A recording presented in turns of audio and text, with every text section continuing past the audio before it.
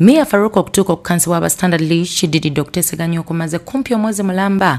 Klaabu eziwerako e bulaya nga mubaddemu ttiimu endala okuli sporting lisbon eya portugal dynamo dresden eya german saako ne club bruge okusinziira ku kitunzi wa meya nasa mulindwa klaabu endala ezibadde zaagala meya kuliko intranched frankfurt ng'eno ebadde yagala kumutwala kugezesebwa.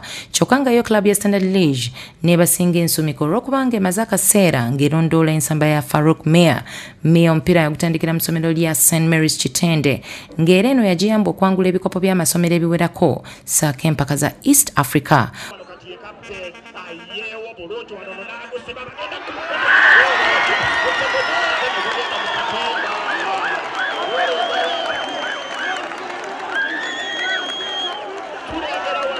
oluvannyuma lw'omutindo omulungi mu ssomero mia faruk yakansibwa aba club ya vipers ng'abasambidde sizoni bbiri zokka ng'awangudde ekikopo kya league sizoni ewedde saako n'okuwangula engula ey'omuzannyi asinga omwaka oguwedde nga yateeba ggoolo abiri mu mpaka zonna.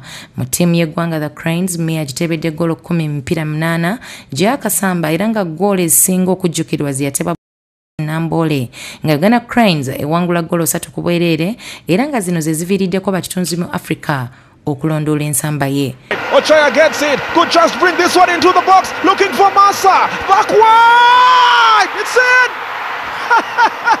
Farouk Mia has just scored his second goal of the game. His third of the tie. And the Uganda Cranes all but confirm a chance of moving it to the next round. The name is Farouk Mia. Write it down. You will need it in the future. Kati mia ali ne cranes mu mpaka za chan e rwanda era nga yateebye ggoolo emu nga cranes egwa maliri n'emmali ku ku bbiri. Wabula olw'obuvune bwe yafunye ayinza obutasamba mupiira gwa ku lwamukaaga nga uganda ettunka ne zambia.